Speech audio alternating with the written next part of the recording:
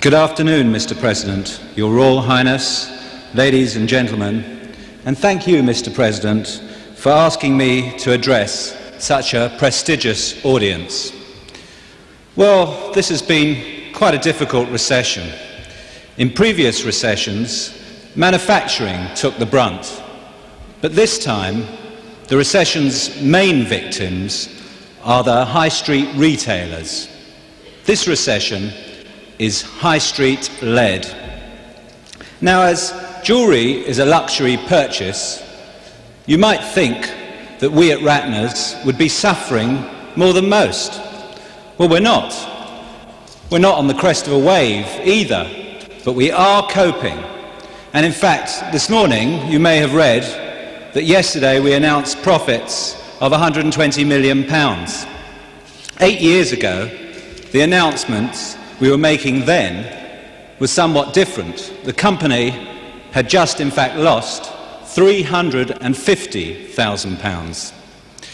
So, before I talk about the potential for the next eight years, it's important to see how we've achieved this growth. And if there's any tips in my story that maybe have helped to you, please go ahead and use them. That as long as you don't decide to diversify into the jewellery business, because we could uh, certainly do without the competition at the moment. But Ratner's Group is primarily a jewellery retailing operation, with around a thousand shops in the UK and another thousand in the United States. We cover a number of brand names. Our major chains in the UK are Ratner's, H. Samuel, Zales, and Watches of Switzerland. And the theme of today's conference is quality, choice, and prosperity, which I think links quite nicely with our businesses. Zales, the diamond specialist of the group, represents quality. H. Samuel, which operates from much larger units and carries bigger ranges, including jewellery and gifts, represents choice. While Watches of Switzerland, which sells watches, believe it or not, costing as much as a quarter of a million pounds, certainly represents prosperity. So that leaves me with the original chain, Ratner's. And I have to admit that while it offers choice with its 99p earrings, it's positioned very down market and it doesn't represent prosperity. And come to think of it, it's got very little to do with quality as well. Um, but also, I have to be honest, also in Ratner's, uh, we sell gifts as well as jewellery.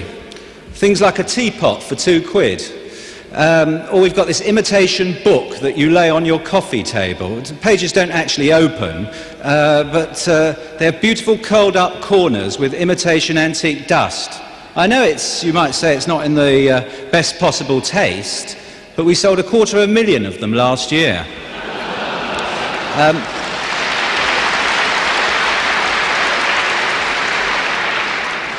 we also do this uh, nice sherry to decanter. It's cut glass, and it comes complete with six glasses on a silver plated tray that your butler could uh, bring you in and serve you drinks on.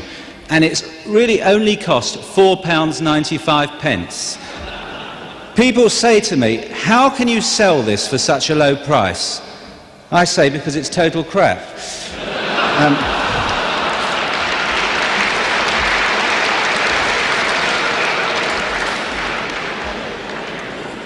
Uh, it's no point beating around the bush. Anyway, uh, our Ratner's shops will never win any awards for design. They're not in the best possible taste, I admit that. In fact, some people say they can't even see the jewellery for all the banners and posters smothering the shop windows. So it's interesting that these shops, that everyone has a good laugh about, take more money per square foot than any other retailer in Europe. Why? Because we give the customer what they want. In our shops today, jewellery is largely bought on impulse, especially in our Rat, Ratner's and H. Samuel divisions. The look of the shops, with pop music playing, garish colours, and bright lights is worlds apart from the old fashioned jewellers. Before 1984, Ratner's was one of those old fashioned jewellers. In those days, nothing in the windows was priced. Today, everything in our windows is clearly priced and clearly described. The old jewellers used to lock the door behind you. They probably bolted them as well when you came in. Now, when our shops are open, you'll see no doors, we take them away. Before 1984, the average item in a jeweller's shop cost over £300. Today, in our shops, jewellery is no longer a luxury. It's about £20 on average. We even sell a pair of earrings for under a pound, gold earrings as well. And some people say, well, that's cheaper than a prawn sandwich from Marks and Spencer's. But I have to say, the sandwich will probably last longer than the earrings, but anyway. Uh,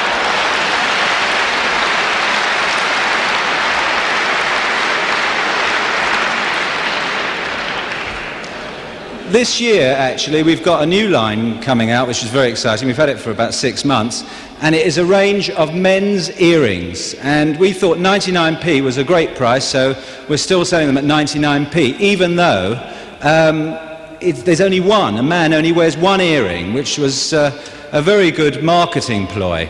Uh, and especially as they only wear one, it doubles the profit margin as well, which is, uh, can't be bad. Uh, but I, looking around here today, I noticed that there are very few IOD male members wearing uh, any earrings.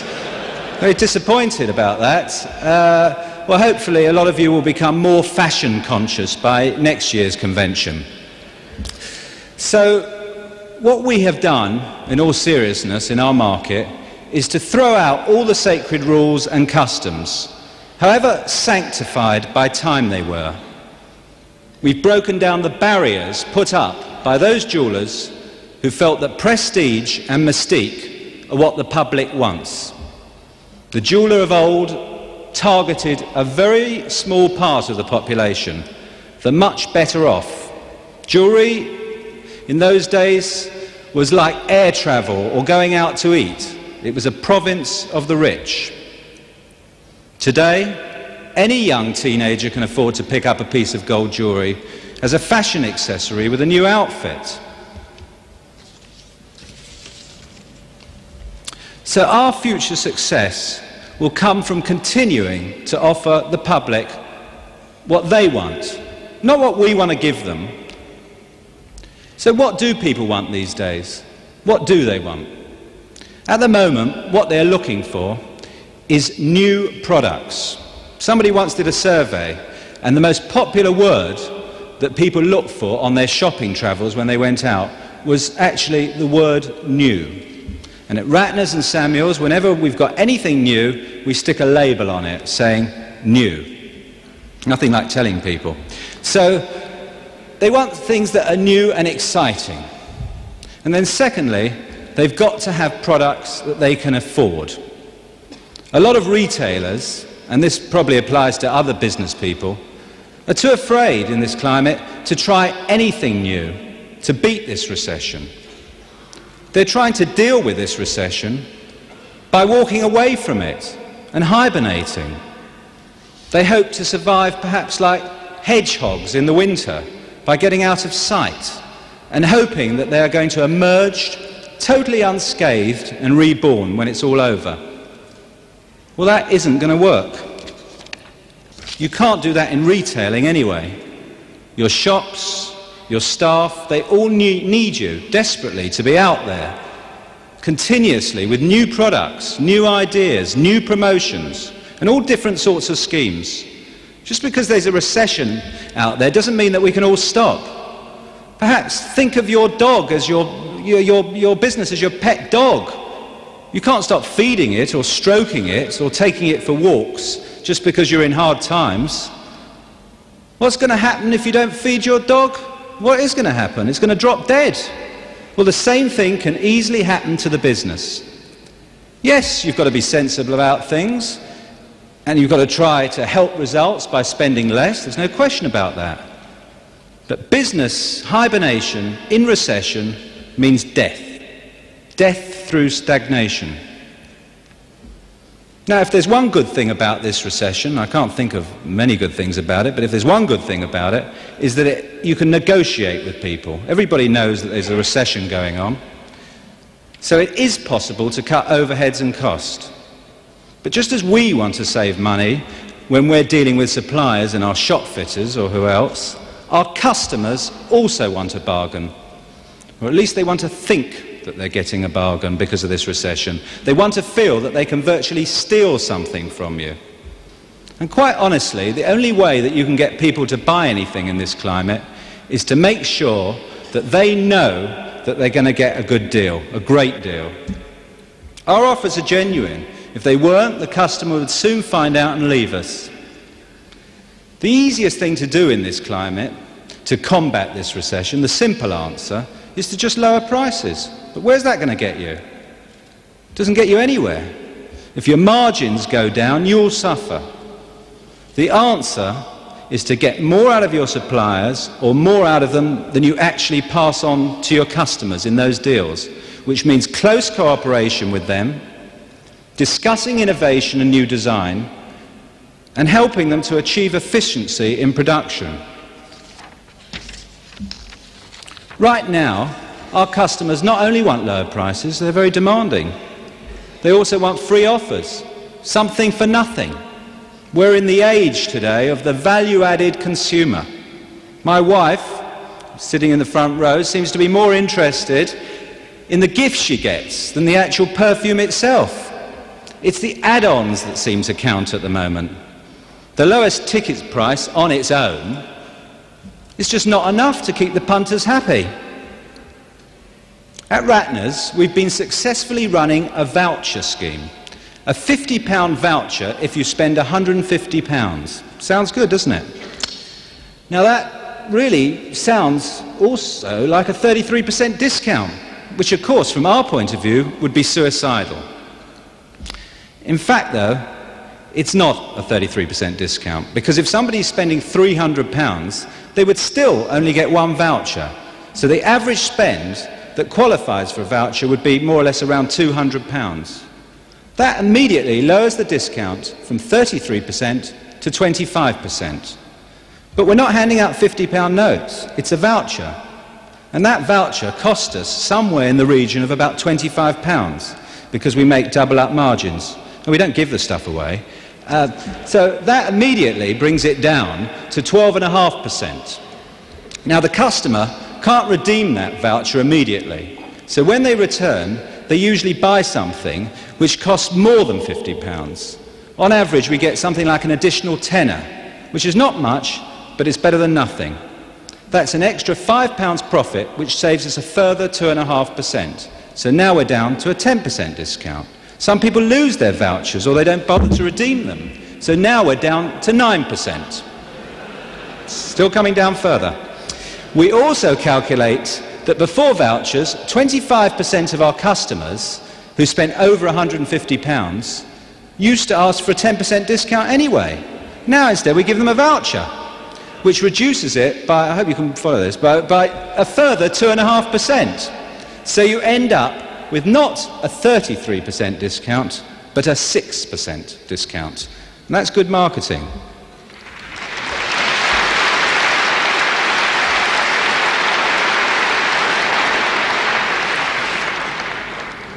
And we found sales, incidentally, over the Christmas period that were over £150, that when we ran this promotion, that those sales increased by, it turned out, so it turned out that it was a very, very profitable promotion because they increased by some 50%. Now, I know it's a rather complicated explanation, and if you don't follow, you didn't follow all those details, I don't really mind because you can work out your own scheme. Look what, and there are plenty of others, but look what else we're giving the customer as well as the vouchers.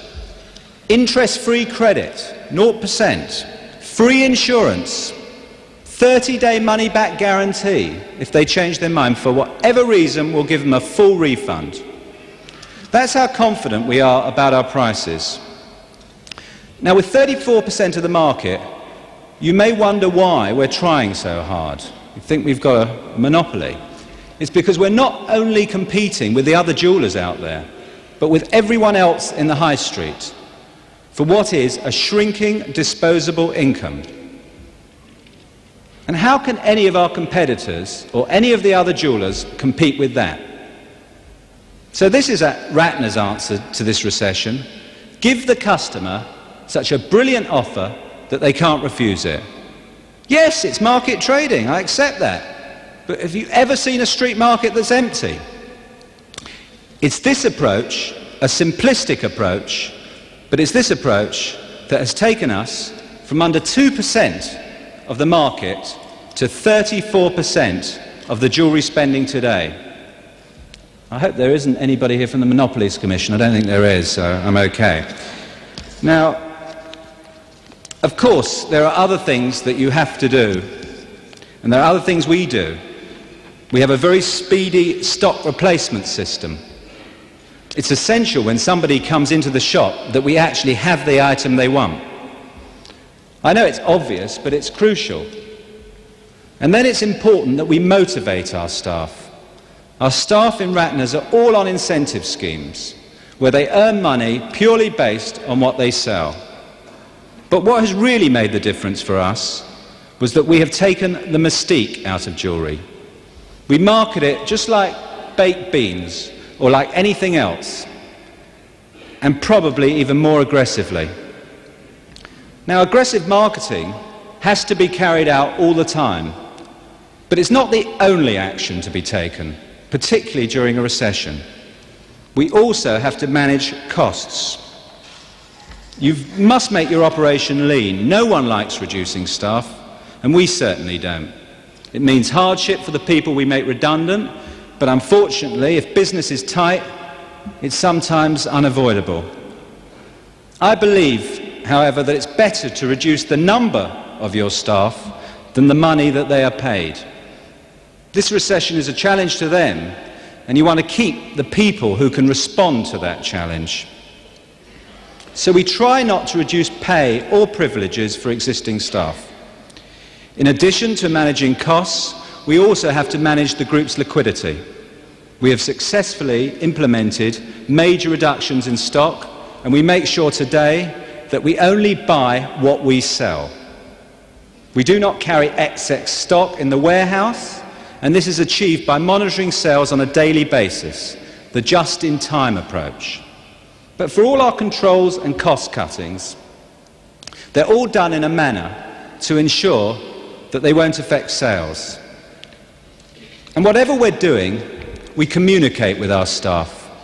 We have frequent meetings with our managers, we get their opinion, and we tell them of our strategies. Now, one question that we used to ask ourselves is what are we going to do when we hit our 50% target, 50% market share in the UK? Could we transport our formula to the continent or the United States? Otherwise, we'd be in danger of getting into the law of diminishing returns if we didn't go abroad. In the UK, the jewellery market has grown faster than any other sector in the high street, and that's mainly because we have made it more affordable and more fashionable and certainly more high profile. When we did consider the continent, we had one advantage. We'd already been there. Ratner's had expanded back in Europe in the 70s. We'd opened about half a dozen shops in the summer of 1974 in Holland. And they actually did quite well that summer. The problem was, when Christmas came around and the figures didn't go up, we discovered that they don't celebrate Christmas in Holland. Which uh, they don't slight drawback. You know, they don't give Christmas presents. And as 90% of the jeweller's profits are made in December, that was enormous drawback, to say the least. Perhaps this is an extreme example of not researching your market before you go in, of not looking before you leap. But that is the sort of mistake that is going to be made again in 1992. And it isn't enough to research new markets, you've got to know your market. We know the jewellery market in the UK pretty well. We don't know everything about it, but we think we know more than our competitors. And that's the only basis on which you can be successful in any market. So we decided to go to the US before Europe, as it is the largest market for jewellery in the world. It's a market worth some $22 billion, five times the size of the UK jewellery market. So in the US, we acquired a chain which appropriately was called Sterling. We decided it was the best jewellery retailer in the US. It wasn't the biggest, just the best. And because rents in the US are linked to sales, you can actually find out who is taking the most money. You can find out what every trader is taking. The mall owners are quite happy to tell you that. Unfortunately, they don't do it here because sales are not linked to rent, so they don't know. So we travelled around the malls, and without any exception, Sterling was taking more money than any other jeweller. That's pretty useful information to know when you're buying a new business. So we thought at that point we'd, uh, we'd go and visit them at their head office. And we also found that their gross margins were 61%, higher than the UK even, if that's possible. And that was the highest in the trade. Their bad debt write-off, because everybody buys everything on credit, was the lowest totally crucial as far as the US is concerned. Everybody wants everything on credit, they don't want to pay. All of this plus first class management.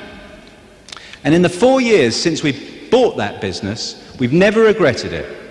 We've used their proven methods, we have built on their foundations, and we've expanded their operation tenfold from 100 to 1,000 shops. Last year, we made $110 million in the US. That is more than any UK retailer has ever achieved there. And we know that this was due to the fact that we weren't arrogant enough to try and transport our formula, however successful it was in the UK, straight across to the US. We got local management to deal with it. And that's the secret. Yes, we've had criticism on the way. We bought Kay's, a company, a jewelry company in America last year, a chain of 500 shops. The city analysts, won't say too much about them, but they gave it the thumbs down. The press unanimously condemned it. There were even calls from institutions for us to appoint non-executive directors to the board. And our shares halved in price. Apart from that, it was very well received. The thing that none of them yet understand is that just like all our previous acquisitions in the United States, and we've done five, they've all been successful, Kay's will totally be transformed and converted to that successful sort formula. It was just a property deal. And it's worked for our previous acquisitions, and it's already working, I'm glad to say, for Kay's. And our shares are beginning to go back up again. So we have used the 80s to expand our businesses. We've taken full advantage of the economic climate. I accept that. In the 90s, we were capitalizing, we want to capitalize on our position. So to sum up, whether we're in the US or the UK or the continent of Europe, whether we're in recession or we're in a boom, we'll carry on being prosperous by taking market share. To do this, we will continue to offer value for money. That's central. We must go on offering the widest possible choice from the best locations, operated by staff who know what they are doing and who are fully trained. We must give the best service and project the highest possible quality standards. In other words, we must show the customer that if they want jewellery, we're the place to come. We're the only real choice they've got. We, we're what the Americans call category killers. The 90s will certainly be tough for all of us, ladies and gentlemen. Everyone, I think, agrees about that. There'll be more lo losers than winners. The winners will be the ones, in my view, will be the ones that can control costs without losing innovation. The winners will be the ones that can find a way of blending the two. We are totally determined that the winners will include Ratners. We all share this recession together. And I hope that before long we will also share good times. So, good luck for you, for your staff, and for your companies. Ladies and gentlemen, Mr. President, thank you very much indeed.